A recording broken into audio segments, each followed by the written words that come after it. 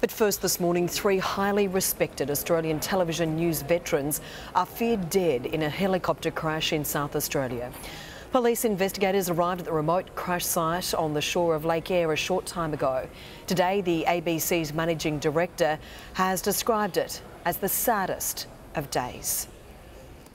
Feared dead in the crash, three of Australian television's most experienced. It's been the, the, longest of nights and we fear it's going to be the saddest of days. We're still awaiting official, official confirmation out of South Australia on, uh, on the death of our colleagues. Journalist Paul Lockyer's career had spanned 40 years working for both the ABC and Nine Network. He headed the ABC's coverage of the Queensland floods the flood of 1890, which left only two spots in St George high and dry. Lockyer had served as a foreign correspondent in Jakarta, Bangkok and Washington. Gary Ticehurst was ABC Sydney's chief helicopter pilot for more than 25 years. He'd flown more than 16,000 hours in helicopters.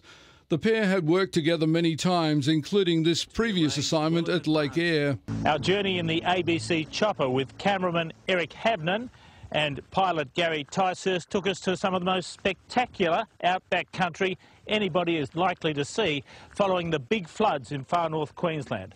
It's taken months for that water to work its way down here to Lake Eyre. Veteran Brisbane cameraman John Bean had filmed for the ABC for two decades. The trio had been on assignment for the ABC at Lake Eyre, among tourists and media teams drawn there for a once in two decade flood. It's believed the helicopter crashed on the eastern side of Lake Eyre about 7:30 last night. One report says the chopper burst into flames on impact.